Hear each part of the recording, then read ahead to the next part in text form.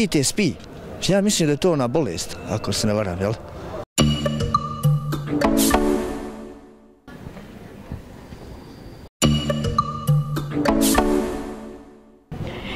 Izvinite, samo kratko, znate šta je PTSP?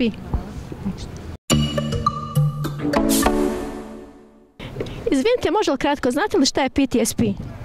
Ne znam. Može li kratko, šta je PTSP? Pa to ti je bolest koji su borci preživjeli 92. 95. u Bosni svi redom.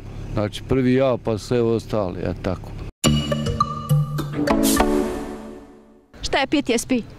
PTS, aha, e, to je e, problem koji je e, otkriven u Americi prvi puta posle, ja mislim, drugog svjetskog rata, a odnosi se na oboljene koje je jedno od teži i koje je skoro neizlečivo. Šta je PTSP? Posttraumatski sindrom. Ću objasniti sad. E, posttraumatski, poslije traume neke koje su dožive ljudi, recimo bilo ratom, bilo oni nekom bolešću, uglavnom to je posttraumatski sindrom koji svi pate od toga, boluju, bez bel treba onaj psihički liječenje kod kod ljekara, kod sposobnih osoba koje mogu pomoći tim osobama i eto tako. Sad možete kratko, šta je PTSP? Posttraumatski stresni poremećaj. Dakle, najčešće poslije rata ljudi koji su bili izloženi traumama velikim, nakon toga kada prođe taj period često se dešava da ponovo bivaju na bilo kakve podražaje, odnosno na bilo kakve situacije mogu da reaguju stresno, vrište, bježe, sakrivaju se i tako dalje. PTSP šta je? To je sindrom znači psihički poremećaj uzrokovan nekim velikim traumama, znači ratnom traumom. I mi smo svi ovdje u Bosni i Hercegovini manje više pod PTSP-om. Hvala Allahu pa smo vjernici pa možemo se nositi s tim, alhamdulillah. Vi gledate emisiju Eglan Bennett koja pokušava da u javni prostor vrati one teme koje čine naš život, našu svakodnevnicu, a sakrivene su ili marginalizirane. Govorili smo o ratnim vojnim invalidima. Doveli smo ratne vojne invalide da vam opričaju svoju životnu priču. Činjenicu da svaki dan oni žive borbu za slobodu Bosne i Hercegovine, cijenu koju su dali za slobodu Bosne i Hercegovine. Mnogo je još tema oko nas koje su slične, a koje želimo kroz emisiju Eglan Bennett predstaviti našoj javnosti i zapravo ih otkriti iz te marginaliziranosti i činjenice da ova dejtonska javnost nema senzibiliteta za ova pitanja. Govorit ćemo u budućnosti o problemu silovanih bošnjakinja. Govorit ćemo o problemu kockanja i kladionica uz škole, o toj pošasti koja uzima našu omladinu. Govorit ćemo o alkoholizmu, o bolestima ovisnosti i o mnogim drugim pošastima sadašnjice. Ono o čemu ćemo danas govoriti jeste problem PTSP-a. A moji gosti su Faruk Krek, predsjednik udrženja oboljelih od PTSP-a VOX i Almir Garbo. Selam alaikum i dobrodošli u Edmund Bennett. Alaikum selam i prije svega da poselamam vas i vaše gledalce i da se zahvalim na prilici da porazgovaramo o temi o kojoj mi nemamo baš puno prilike da u sredstvima javnog informisanja da govorimo. Je možda Faruk za početak da kažemo javnosti šta je to PTSP? Pa, posttraumatski stresni poremećaj po medicinskoj definiciji je poremećaj u ponašanju i emocijama. On se pojavljuje obično nakon izloženosti ovaj velikom stresnom događaju, kao što je recimo rat, ili to mogu biti poplave, požari, rudarske nesreće. Međutim, od PTSP-a mogu oboljeti ljudi koji su recimo imali razvod braka i nakon toga ljudi oboljevaju od PTSP-a. Ili nakon uh, gubitka drage osobe, smrti drage osobe, bilo da je to u ratu, da je poginula ili da je recimo ovaj, u, u minodopskim uslovima da je osoba preselila. Pa, što je specifikum Bosne i Hercegovine u odnosu na druge krajeve Evrope, tako da kažem, jeste količina stresa koja se stručila na bosansko-hercegovačko stanovništvo?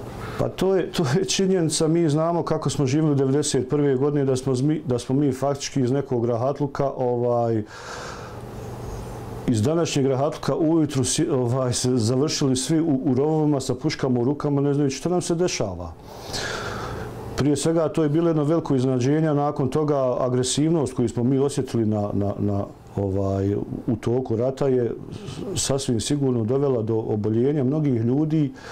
Ono što bih ja, što mi je vrlo bitno da kažem za početak u ovoj emisiji da je posttraumatski stresni poremećaj je sasvim normalna reakcija organizma na nenormalne okolnosti. To je ujedno i na kakav moto naše, našeg udruženja. Znači, nije normalno da vas neko četiri godine pokušava ubiti, a da vi emotivno, odnosno mentalno ne reagujete na to. Znači, mogu reći da nije čak normalno ni da vi ubijete nekoga, jer to je neprirodno stanje za čovjeka, a neprirodno je naravno i da neko pokušava vas ubiti u takvom dugom periodu. Ono što mi pokušavamo s ovom emisijom i s ovom temom otvoriti i približiti javnosti jeste da postoji jedan veliki dio naše populacije koja e, rat i ratne traume živi kao svoju svakodnevnicu. Dakle, rat za ovaj dio populacije nije prestao, on zapravo je kako rekao svakodnevnica. A da vam kažem... Koji su oboljeli od PTSP-a. Da vam kažem, podatke koje mi imamo ovaj, su stvarno poražavajući, pogotovo ako se uzme u obzir da ovaj, ti podaci, odnosno da su podaci došli od uh, međunarodnih organizacija koje su jedine uradile prava istraživanja u Bosni i Hercegovini. Recimo, Bosna i Hercegovina nema ovaj, zvančne podatke o broju oboljelih od PTSP-a. Srećom je negdje, čini mi se, 98. ili 99. svjetska zdravstvena organizacija, to je UN-ova organizacija, ovaj, iz, e, napravila istraživanje na nivou Bosne i Hercegovine gdje je došla do podatka da je od PTSP p-a u Bosni i Hercegovini oboljilo 400.000 ljudi. Šta je sad tu dodatni problem? Znači, imamo već 400.000 ljudi oboljelih, međutim, mi to moramo pomnožiti sa brojkom 3, obzirom da su ti ljudi sada porodični. A u nastavku emisije ću vam malo objasniti kako se PTSP ovaj, prenosi i transgeneracijski i kako pate i porodice koje su koje žive u, u domaćinstvu sa oboljelim, pa ćemo eto malo kasnije i o tome. Ono što mi želimo kroz ovu emisiju jeste da E, iz unutarnje pozicije, dakle sa strane žrtve, pogledamo ovaj problem. Jer do sada, iako rijetko se o tome govori, ali su uglavnom govorili ljekari, psihijatri, sociolozi, mi želimo zapravo da žrtve koje vi predstavljate kao udruženje, da progovore o ovome, pa ću ja evo u nastavku Almira Garbu, koji je kao maloljetan postao pripadnik Armije Republike Bosne i Hercegovine i poslije se suočio s ovim problemom, e, upitati da nam evocira te uspomene na početak agresije, na činjenicu da je kao mlad čovjek prošao traumatična iskustva i kako se to onda Almire poslije odrazilo na tvoj život. Salam alaikum vama i svim gledalcima. Hvala vam što ste našli vremena da se obra, da nas pozovite kao udruženje, kao populaciju koja ima velik problem u, u, u društvu i u okolini u kojoj živim. Ovako, e, što se tiče e, naših udruženja, već je potresnik rekao šta se bavim i da se bavimo okupljanjem oboljelih od PTSD-a, p-a, a nažalost, onaj, svakim danom je sve više, a sve manje nalazimo razumijevanja od strane države državne institucija, kao i okolini i društva u kojim živimo. Smatramo ovaj, da jednostavno nemamo razumijevanja od strane bilo kojih vidova, znači ministarstava, da li to bilo zdravstvenih, boračkih ili drugih, jer e, dovoljno je uzeti svoj slučaj, znači nisam jedini, nažalost, da sam ja jedini lako bilo, ja sam kao dječak sa nepunih 15 godina, znači po završetku 8. rata, priključio se armije Republike Bosne i Hercegovine u borbi protiv agresora u, u, za svoj narod, za svoju vjeru i za sve građani koji smatraju Republiku Bosnu i Hercegovinu, to je država Bosnu i Hercegovinu, smatraju svojom jedinom domovnom. Ja i danas dan volim smatram jedinom domovnom, dao sam znači, maksimalno što sam mogu od sebi, ali nažalost onaj, sad kad smo obolili, mnogi od nas ne žele i da vide i jednostavno ignorišu taj naš slučaj. A što se tiče e, psihičkog PTSP-a, e, on se odlikuje dosta onaj, u odnosu na druge ljude, do, dosta imamo različitosti, jer mi smo, previše smo emotivni, razražljivi, imamo ljeva česte jaka znojenja, da imamo te non stop flashbackove, tu znači vraćamo se ponovo u sve ono što smo prošli. Znači. A kada si ti osjetio kod sebe simptome PTSP-a i psihičkog poremećaja? E, uh, Koliko nakon rata? E, ja sam tad isto bio u vojci, u profesionalnoj vojci, tad sam je prekinut ugovor 2001. godine u gardijskoj brigadi Armije Republike Bosne i Hercegovine, eh, Vojske federacije Bosne i Hercegovine, eh, u, u, u bataljonu Renđere. E, desilo se onaj, jer me jako povrijedilo, eh, pošto sam bio zarobljen u hrvatskom dijelu grada Mostara, došao je čovjek kojeg sam poznao koji me tukao, dok sam bio zarobljen i kad sam ja to rekao svom nadređenom, mi je rekao da ne, ne, ne smijem pokušati ništa. I tad sam, ona, osjeća, nisam se, znači, prvo osjetio sam taj neki strah da nisam siguran među svojim, imao sam osjećaj da će pojedini isto mi tu raditi, jer se ne mogu da shvatim, onaj, da mi, znači, koji smo bile žrtve, da, da, da se moram ja ušta na niži nivo, sad, barem ne moram, onome koji me pravio, isčinio da budim žrtva. Koja su iskustva koja si ti u ratu imao konkretno? Ovako, 16.6.1993. bila je akcija Republike Bosne i Hercegovine uz ulazak u selo Neđarić kod studentskih doma. Tu mi je prvi poginuo otac na 50 metara. Znači, gledao sam snajper ga pogodio, ulaz na met, lupa bila je veličine malo prsta, dok je ozada zadnji dio nije bio pola lobanja. To mi je bilo neko prvo, tu, tu sam onaj, jednostavno, ono, evo, svi sam se ruke, ne, ne mogu onaj opisat, taj osjećaj dječaka, znači, kad imate roditelja, vidite malo smo emocije sa lano, imate roditelja, znači, kad im najpotrebniji, i u sekundi nestane.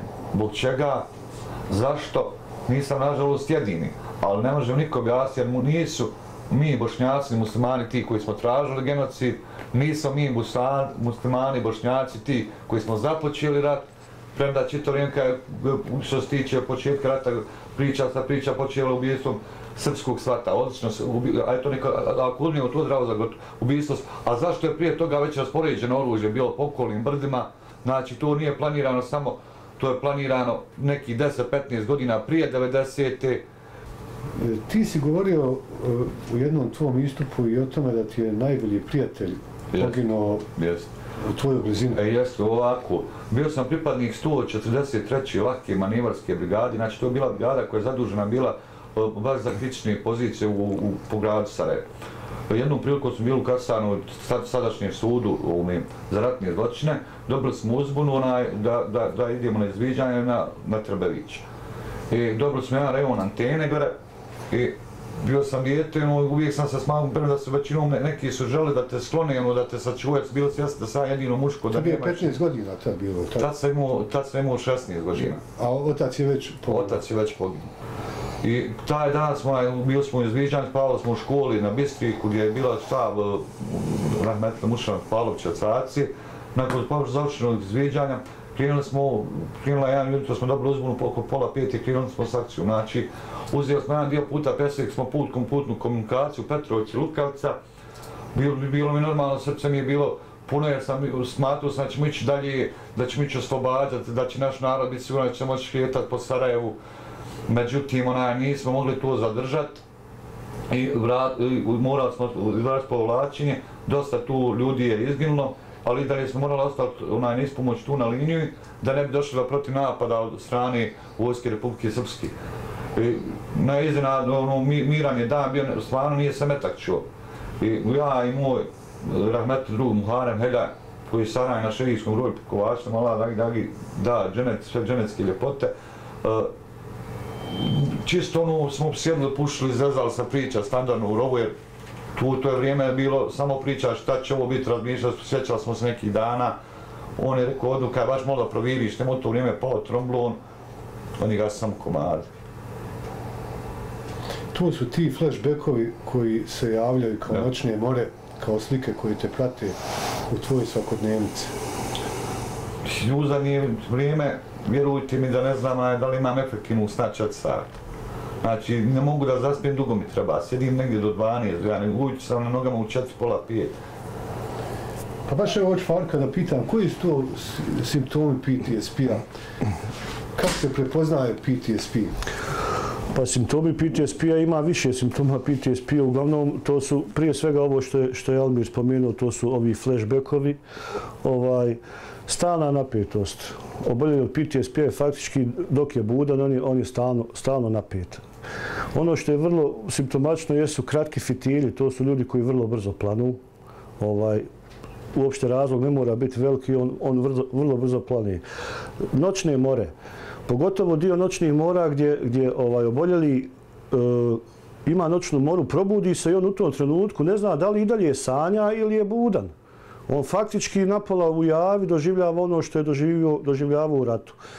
Ovaj, Kako si ti kod sebe prepoznao PTSP? pa, Kako si zatražio pomoć ljekarsku? otprilike to krene, vi vidite da ste non stop nervozni. Vidite da ne možete da spavate, vidite da ste razdražljivi, vidite da nemate energije. Vi nemate energije da nešto radite, nemate koncentracije. Vi sjednete da čitate knjigu koja bi trebala vas opusti, vi ne možete. Primjera radi, utakmicu sjednete da gledate, možete gledati prvi 10 minuta prvog polovremena i vi više nemate strpljenja za to. Znate.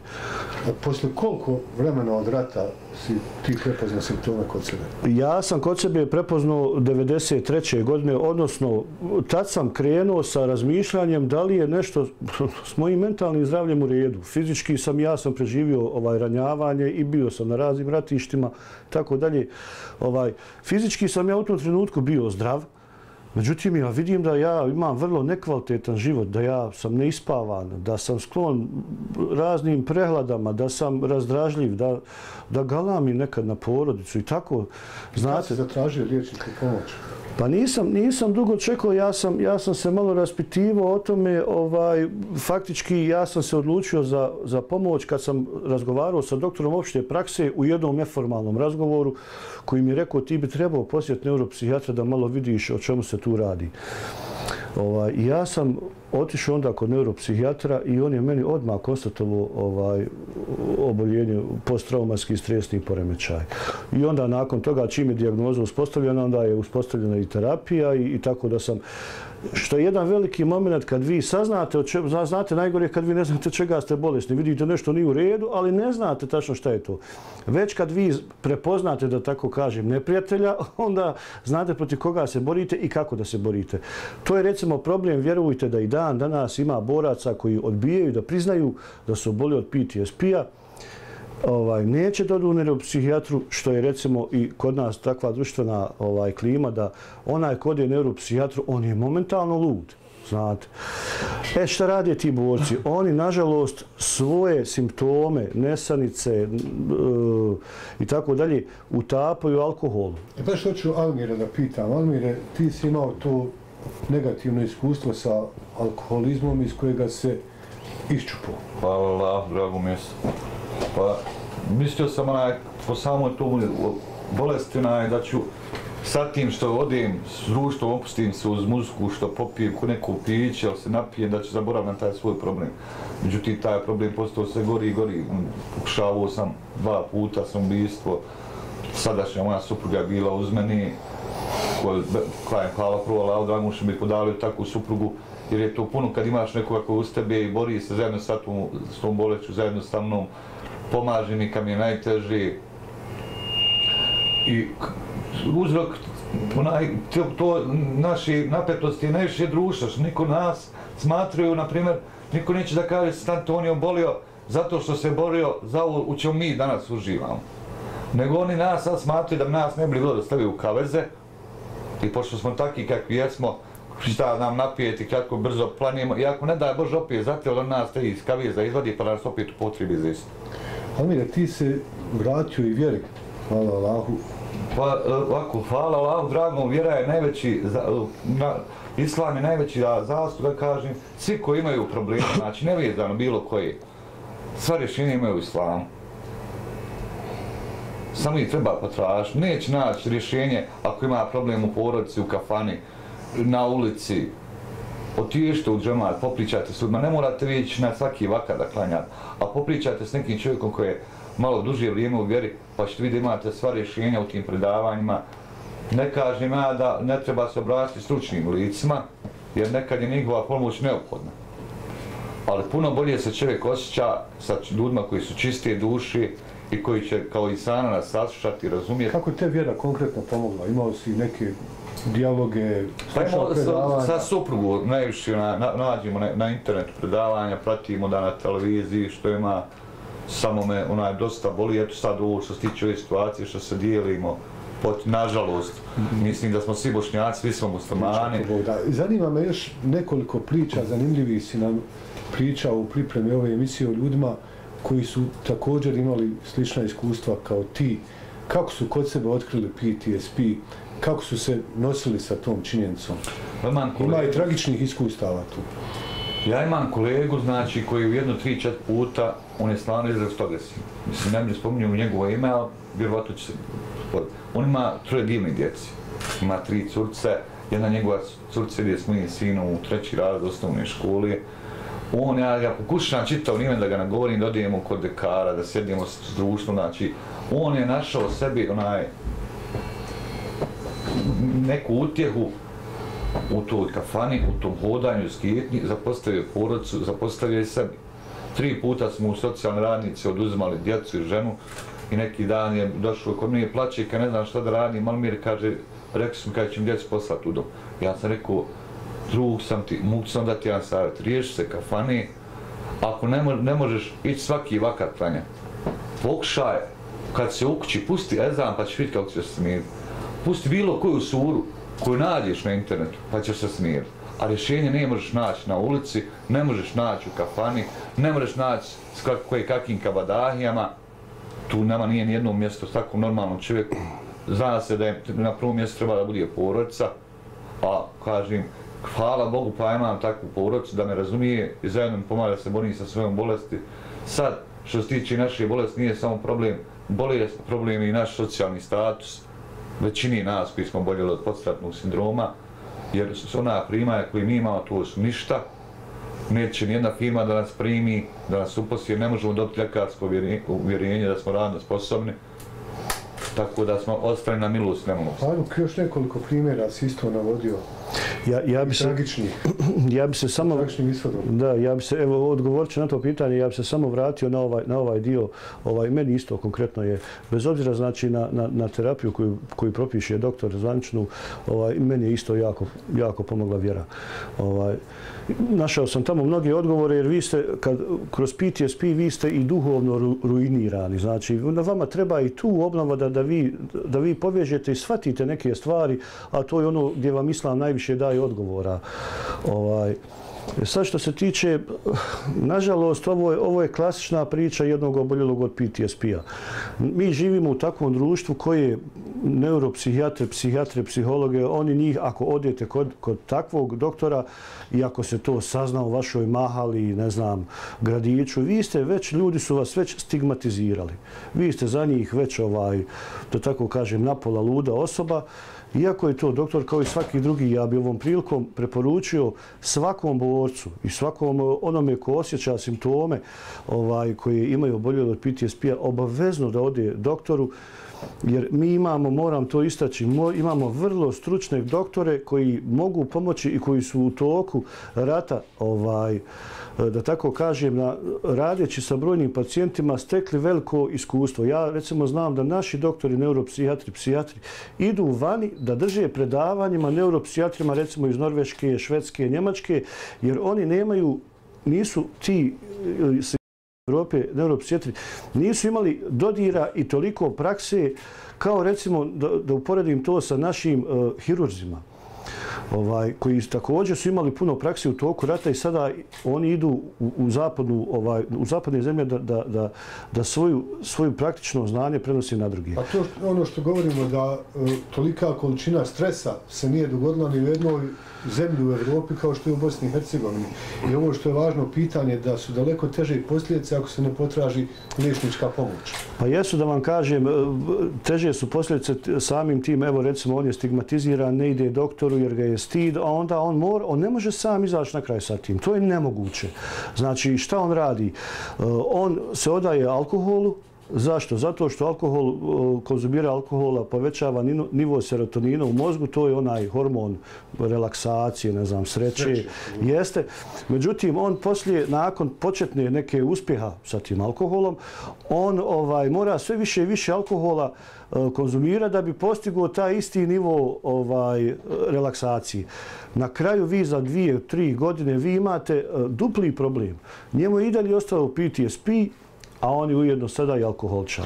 Ali ima i ovaj problem. Eh, pripremi smo o tome govorili, a i može se pronaći nekoliko tekstova o tome na internetu, da nije adekvatno riješen, riješeno pitanje zdravstvene zaštite i prevencije u ovom slučaju.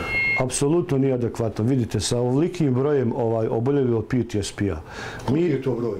To je broj, znači 400.000 ljudi, to je jedi, jeste jedino relevantno istraživanje ovaj, koji je provedeno na teritoriji kompletne BiH je 400.000 ljudi obolilo. Ja opet da pominjem, moramo to pomnožiti sa brojem 3, zato što su to porodični ljudi i sada u tim porodicama najviše trpe supruge. Tako to neka četvrtina stanovništva? Faktički to izađe najmanje milijon i dvijesto hiljada ljudi koji, koji su ovaj ili oboli ili su u neposrednom kontaktu sa, sa oboljenjima PTSP-a. Država jednostavno gura kompletan taj problem po tepih, nadajući se da se to nekako riješi samo o sebe, međutim to se ne rješava, nego se dešava e, druga suprotnost, a to je, moramo ovdje navesti istraživanje profesora doktora Zemira Sinanovića, ovaj, on, profesor je e, proveo istraživanje u 180 ustanova gdje je došao do poražavajuće cifre da je od 1992. do 2012. godine 5000 veterana izvršilo samoubistvo. Od toga 3000 e, iz Vojske Republike Srpske, 1500 iz armije BiH i 500 iz HVA. Znači, to su podaci do 2012. a sada je 2016. Vjerovatno se ta cifra ovaj, i povećala.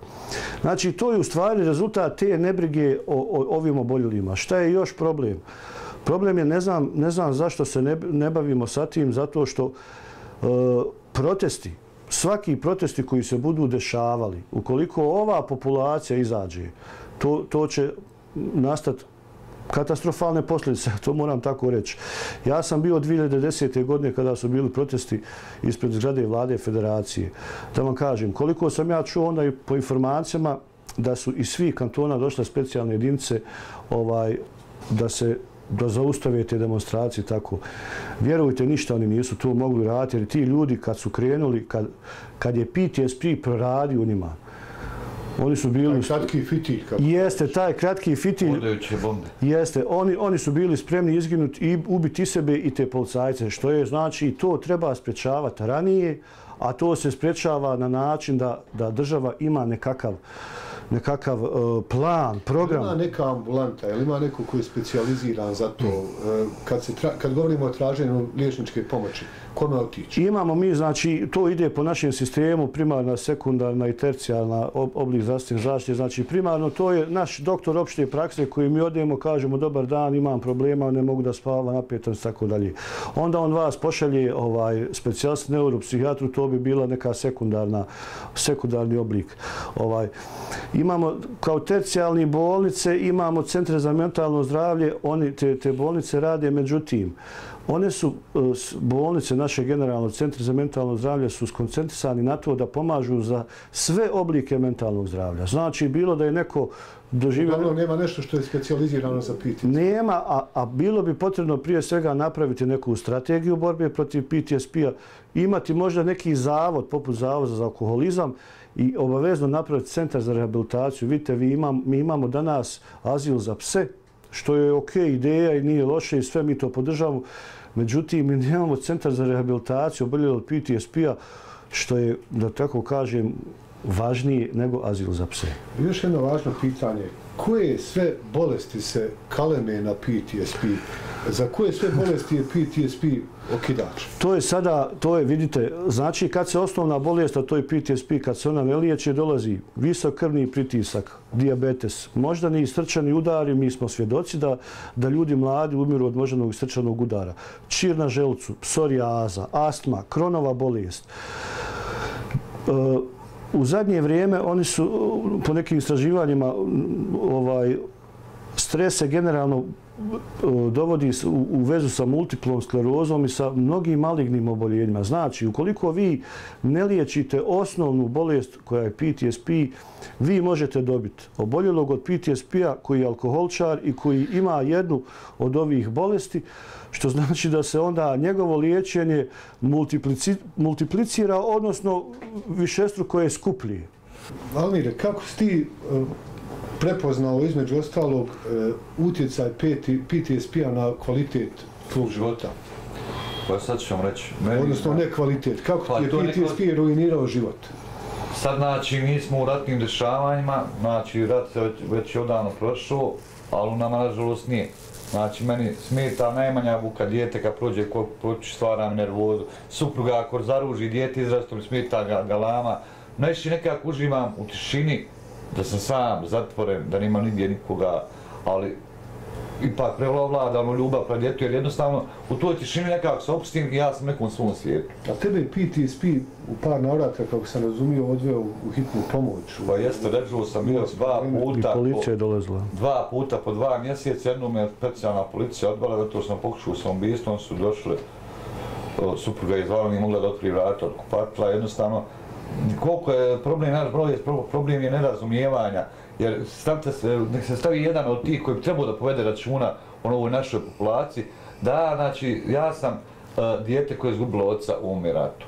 Ja sam dijete koje je dalo mladost u umiratu. Ja sam dijete ovo, ove države koje je sada bolesno, koje ima dijete bolesno i koje od svih primanja ima 33 konvertibilne marke. I sada kako ja te 33 konvertibilne marke da sebi uzmem lijekove, znači ako hoću malo kvalitetnije lijekove da normalnije funkcionuju, ja moram platiti. Dodmijem djetu lijekove, da platim stanarinu i da imam da jedim mjesec dana. Ako uspije ni jedan od njih da mi objasni to... Znači imamo ovdje dupli problem. Jedno je količina stresa koja je ubrizgana ovo društvo u vrijeme rata. I Drugo je količina stresa zbog poniženja koje... Svaki dan doživljavamo koje znači, trpe žrtve stradanja. E, malo čas smo govorili o nekim još slučajima s kojima se ti upoznao ljudima koji su imali slične takve sudbine kako je tvoja. Pa evo sad ću malo reći, zamislite kakav osjećaj, moja supruga isto tu proživila. Moja supruga, znači, ostala isto bez mojih dvojice kolega, on su dvojica maloljetni, bilo onaj namet, on su podnili fara, jedna su dvojica njeni braći, treći je brat invalid. Zamislite kako je jedno, znači, on djevojčica, ona tad bila 81. godište, kako njoj bilo gledat mrtvog brata, jednu, pa drugu, pa gledat treći koji nema noge. I meni najviše vrijeđa u moj društvu, kažu da imaju prednosti porodca, poginulih boraca, e, demobilisani borci.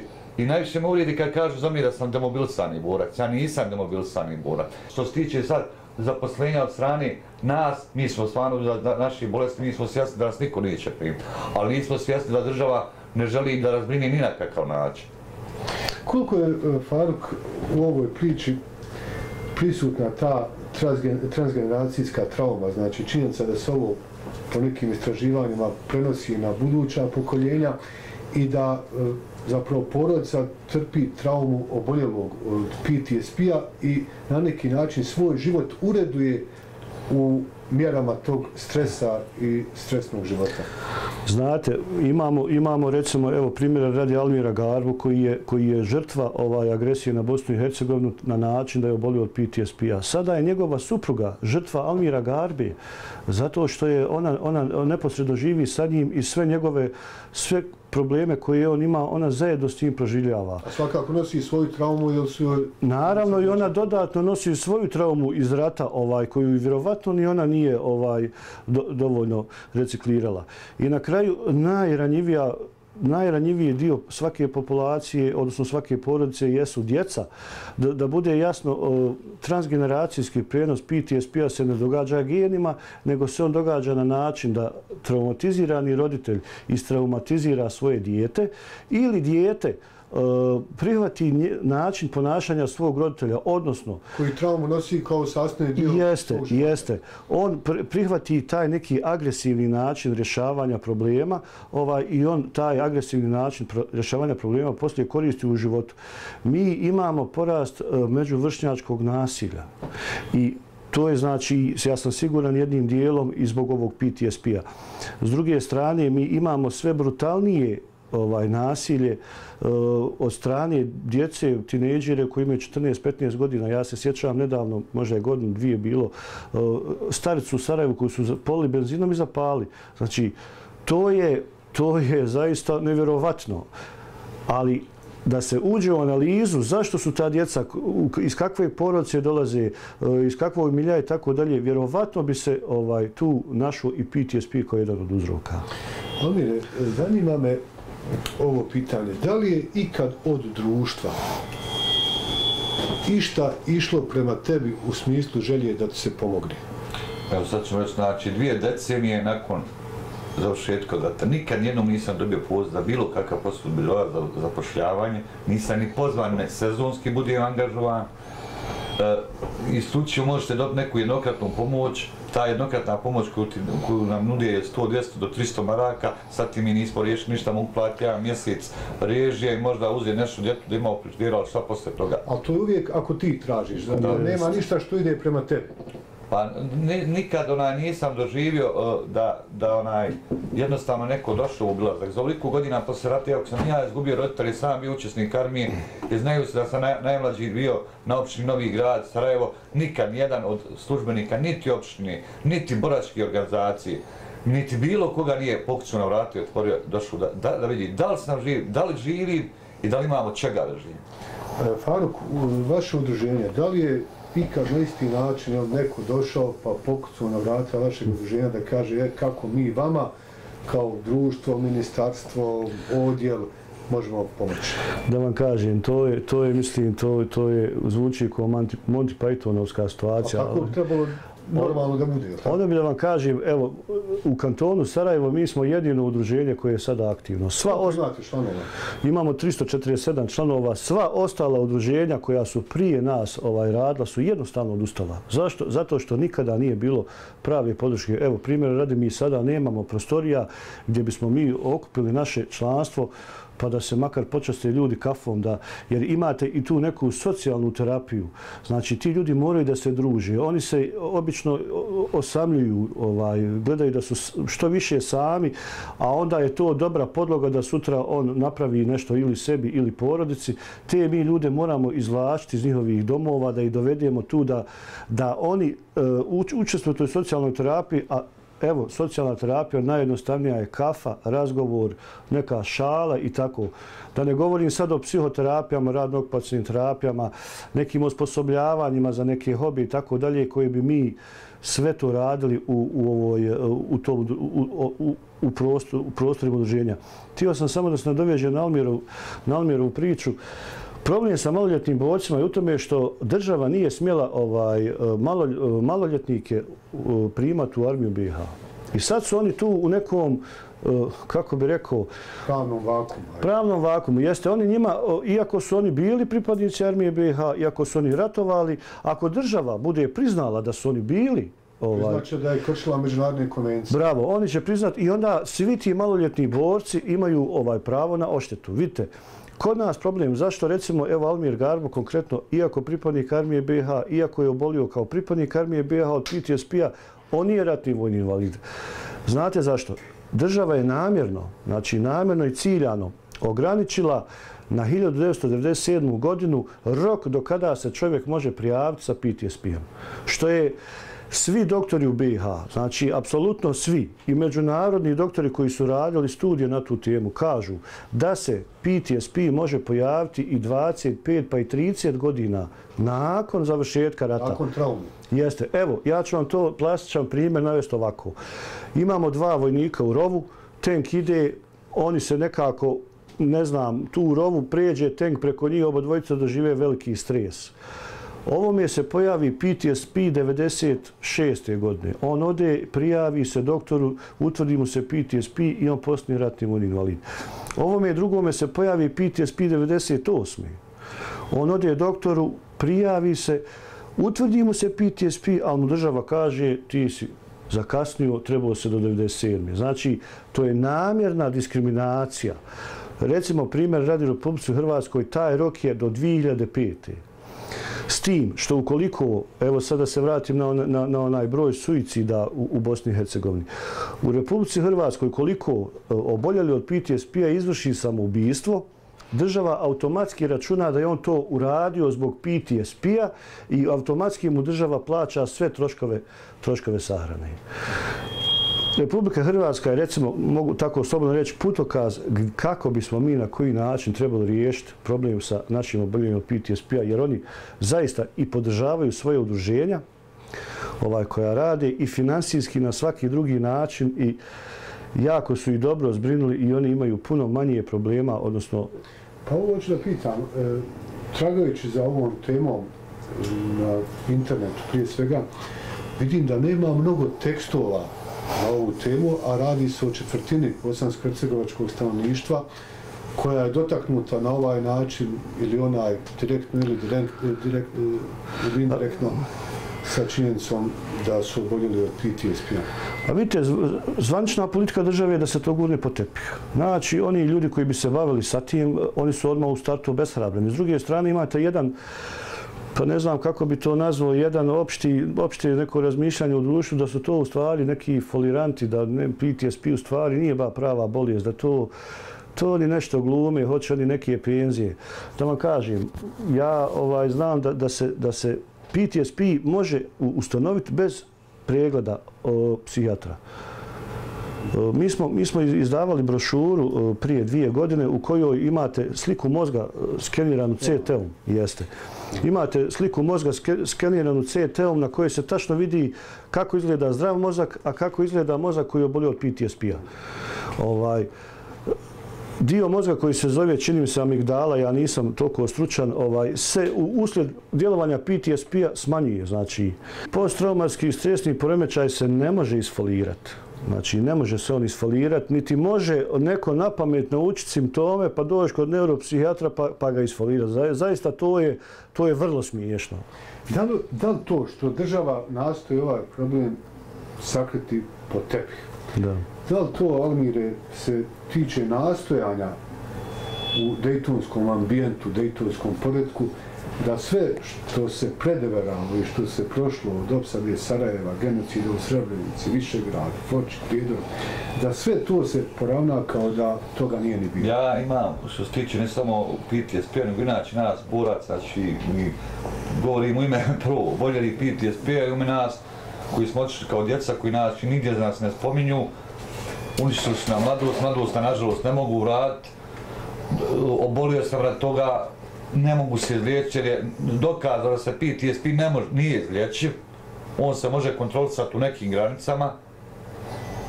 Ali me ona, ja mislim ona, da je najveća greška u tome što smo mi, koji smo se borili za ovu državu, dozvolili da državu vodi oni koji ne znaju što je rat. Jer ne može meni razum koji doći da budi načelnik opštini i evo mi jesu u Maleziji dok ja sam molio Boga da nam donesu taj dan da imam i krišku hljeba da povedem, jer da li će proći od garantiranja hrana do rova, ne može meni najviše me boli to kad dođe i kažem ja tebi razumijem, ne može me razumjeti. Jer on ne zna šta je glad, ne zna šta je kad vidiš pored sebe kolegu koji je ostao bez ruke ili bez noge, niti mogu znati. A oni ne želi namjerno to da, da, da uvedu u zakon zato što nas ne, prvo ne žele, a drugo ne može meni razumijeti čovjek koji ne nije preživio to. I, ima hiljadu rješenja. Prvo, sramotno je reći da mi kao udruženje imamo prostorije, sramotno je reći da te terapije koje mi koje mogli mi sad priužiti da to, to nije dostojna, nije dostojna normalnog čeka. A one koje bi vjerovatno nama godile, nažalost, te, te nezbrinutosti ove populacije, mi ne možemo sve priužiti. Jer nismo financijskim u mogućnosti da priuštimo neke lijekove koji vjerovatno nama dali puno bolji život. Faruk, kada smo zamišljali idealnu sliku brige društva i države o oboljelim od PTSP-a, kako bi ona izgledala? Pa da vam kažem, ovaj, idealno, možemo op, govoriti o optimalnom, sad idealno, ne, ne znam, mislim, mislim da bi kudi kamo prije svega država zakonski morala riješiti status ovih ljudi.